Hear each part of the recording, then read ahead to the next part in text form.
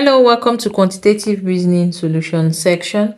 And today we have quantitative reasoning from Lantern Step Book 5, page 5. Thank you for joining in today.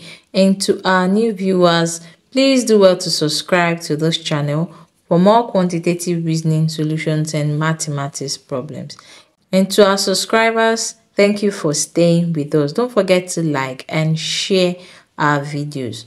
Alright, so here we have 8 3, 18, 7, here 25, 6, 41, 10. Here we have 64, 8, 89, and 17. Right, so we're going to work on this. So to find 18 here, going to have 8 plus 3 plus 7, and that gives us 18.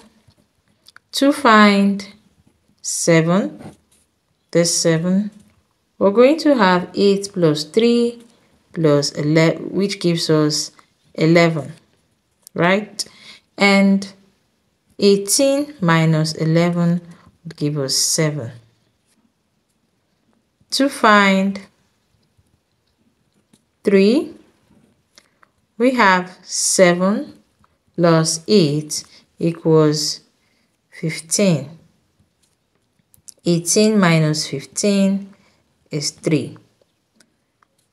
Don't forget to like and subscribe to this channel. So to find 8, this,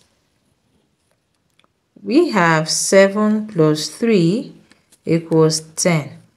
And 18 minus 10, that gives us 8 right? So let's try out another example and see how it goes. So to find 41 this 41 we have 25 plus 6 plus 10 equals 41 to find 10 we have 25 plus 6 equals 31 so 41 minus 31 equals 10.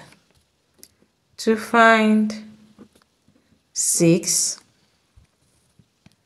25 plus 10 equals 35 and 41 minus 35 that gives us 6 okay and to find this 25